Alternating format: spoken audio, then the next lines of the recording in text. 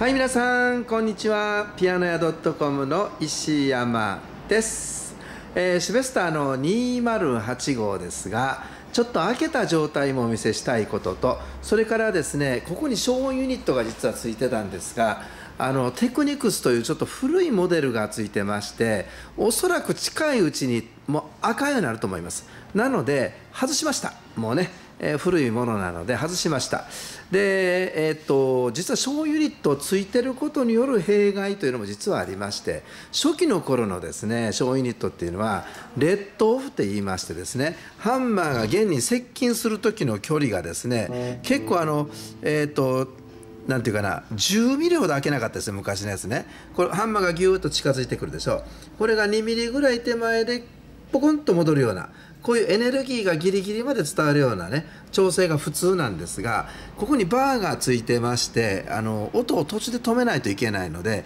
これが行き詰まってしまうので、まあ、昔のやつは10ミリとか10何ミリでこうエネルギーが切れるように調整しないといけなかったんですね。でそれがですねちょっといろんなこの、えー、パワーが出ないとか、えー、コントロール性がちょっと落ちるとかですねそういうまあちょっと問題があったもんですから古い小ユニットは、まあ、ちょっと傷んできてるかなと思うものは極力ちょっと外すようにしてます。その方が後々ね、まあ、あのこれからピアノ弾かれる方にとってはいいかなということで、えー、まあちょっと長々説明しましたけどもあのそういう意味もありましてですね、まあ、ピアノとしての機能を高機能で保つためにあえてちょっと外しちゃったということになりますね。で、えー、中の状態ですが非常にこれ一回うちで手を入れてるピアノなので綺麗です。ピンももうピッカピカに光ってますしね。もうこのフェルトも新しいのに当然張り替えてますしね。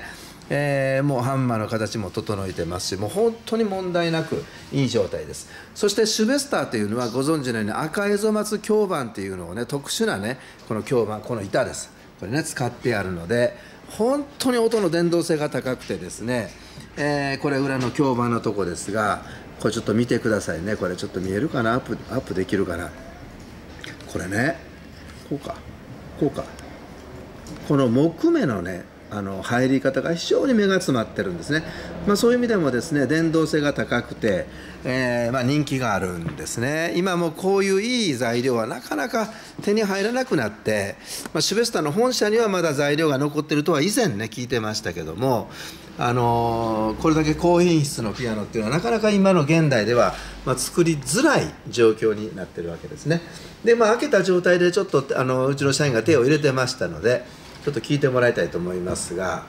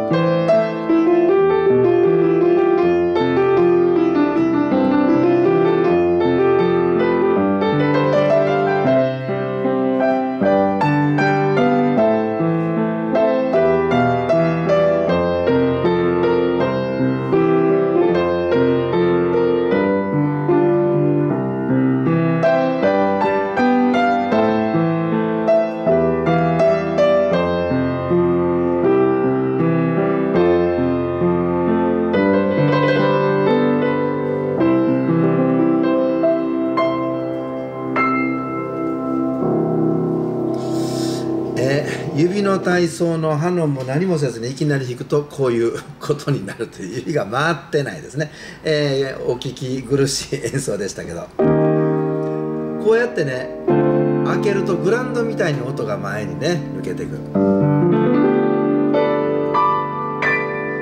まあ音はもう最高ですね。素晴らしいですね。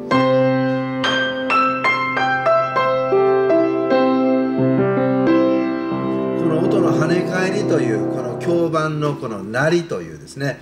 もう恐るべしシュベスターという低音のこのね。